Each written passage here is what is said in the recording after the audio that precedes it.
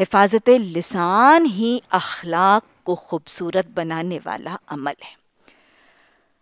سیدنا سفیان رضی اللہ تعالی عنہ، انہوں نے نبی صلی اللہ علیہ وسلم سے سوال کیا، یا رسول اللہ صلی اللہ علیہ وسلم، میرے لیے سب سے زیادہ خطرناک کون سی چیز ہے؟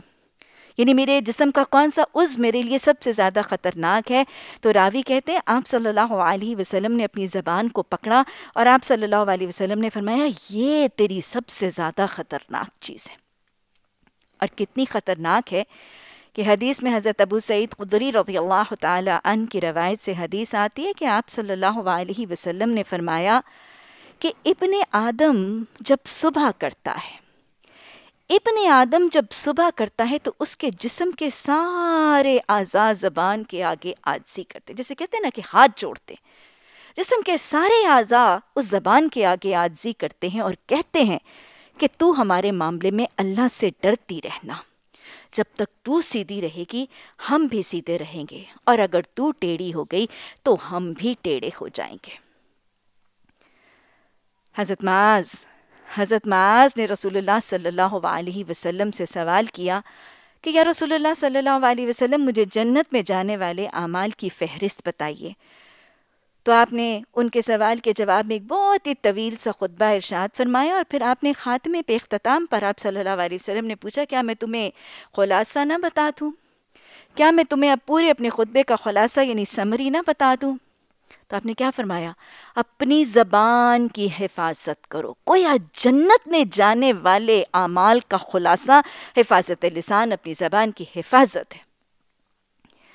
اس پر حضرت معاذ نے حیرت سے کہا، یا رسول اللہ صلی اللہ علیہ وسلم، کیا اب ہماری باتوں پر بھی پکڑ ہوگی؟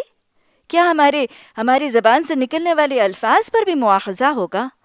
تو آپ نے فوراً فرمایا کہ معاذ، تیری ماں تجھے گم پائے۔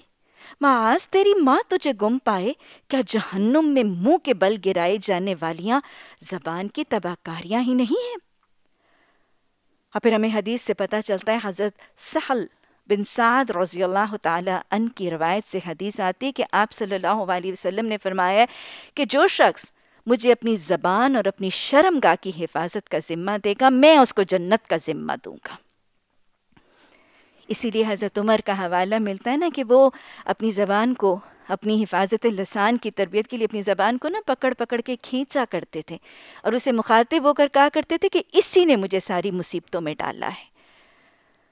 اور حضرت عبداللہ بن مسعود رضی اللہ تعالی عنہ، ان کا قول آتا ہے کہ وہ کہا کرتے تھے کہ دنیا میں قید کیے جانے کے لائق سب سے زیادہ میری زبان ہے۔ وہ جلیل القدر صحابی فرما رہے ہیں کہ ان کی زبان قید کیے جانے کے لائق ہے۔ ہم ہم سب اپنی، ہم سب اپنی زبانوں کا محاسبہ کریں اور اپنی حفاظت لسان کی کیفیت کا محاسبہ کریں۔ اور یہ بھی یاد رکھیے گا کہ اللہ سبحانہ تعالیٰ نے اس زبان کو، اس زبان کو قابو کرنے اور اس کو قید کرنے کا بہت ہی خوبصورت سا اہتمام بھی فرمایا اگر آپ دیکھیں ہے تو یہ گوشت کا ٹکڑا نا، چھوٹا سا سات انچ کا، آٹھ انچ کا گوشت کا ٹکڑا جس کو اللہ سبحانہ تعالیٰ نے جڑ سے باندھ دی ہے، گدی سے بندھی ہوئی ہے نا یہ زبان۔ اور جو آگے والی اس کی ٹپ فارغ ہے، اس کو بھی اللہ سبحانہ تعالیٰ نے وہ تندوے یا فرینولم کی لگام کے ساتھ اس کو قابو میں رکھا ہے۔ ہلکی سی ٹپ جو ہے وہ کھلی ہے نا۔ سوچیں ذرا، اگر زبان کے دونوں کنارے بالکل کھلے اور آزاد ہوتے تو پھر کیا آفتیں ڈھاتی اور پھر صرف یہی نہیں کہ زبان کو دونوں طرفوں سے باندھا اور جکڑا گیا، اس کو دانتوں کے شکنجے میں اللہ سبحانہ تعالیٰ نے جکڑ دیا اور پھر ہونٹوں کے ساتھ اس ڈبیا کو بند کر دیا۔ قابو کرنا کتنا آسان کر دیا۔ لگام ڈال دی، باندھ دیا، جکڑ دیا، ڈھانپ دیا تاکہ تمہارے لیے قابو کرنا آسان ہو جائے، لیکن اس کے باوجود، اس کے باوجود یہ چلتی ہے، یہ چلتی ہے تو یہ چلتی ہی چلی جاتی ہے۔ بے لگام ہو کے چلتی ہے۔ تف ہے اس پانچ، چھ فٹ کے انسان پر کہ اتنا قداور اونچا لمبا انسان گوشت کے اس سات، آٹھ انچ کے ٹکڑے کو قابو میں نہ رکھ سکے۔ یہ زبان یاد رکھیے گا، یہ صرف گوشت کا ٹکڑا نہیں ہے، یہ دو دھاری تلوار ہے۔ یہ دو دھاری تلوار ہے کیونکہ آپ کو پتا ہے نا کہ تلوار کے زخم تو بھر جاتے ہیں، زبان کے زخم نہیں بھرتے۔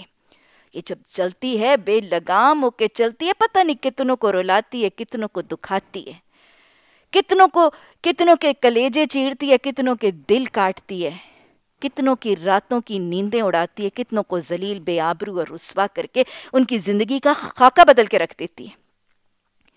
اللہ سبحانہ تعالیٰ نے قرآن میں وان فرمایا ما یلفظ من قول الا لدیہ الا لدیہ رقیب نتید کہ جو لفظ تمہاری زبان سے نکلتا ہے نا، اس کو اس کو دیکھنے اور اس کی نگرانی کرنے کے لیے میرے پاس بڑے حاضر باش نگران فرشتے موجود ہیں۔